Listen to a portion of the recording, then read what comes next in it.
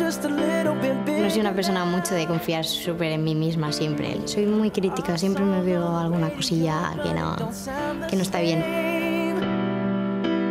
En mi familia somos muchos. Mi madre tiene 11 hermanos y mi padre tiene 6 hermanos.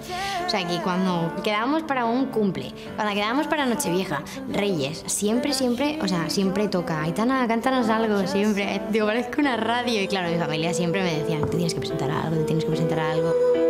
He tenido claro esto de, o sea, dedicarme a la música. Siempre he tenido un poco como hobby, un poco más como segunda opción.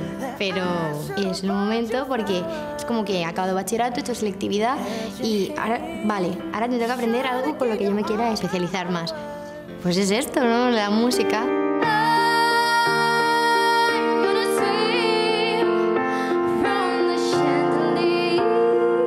Siquiera yo sé lo que podría dar. Quiero que me expriman y que me saquen todo lo que pueda dar, que a lo mejor esto, esto es lo máximo, pero bueno, quiero que lo descubran ellos o que me ayuden a mí a descubrirlo.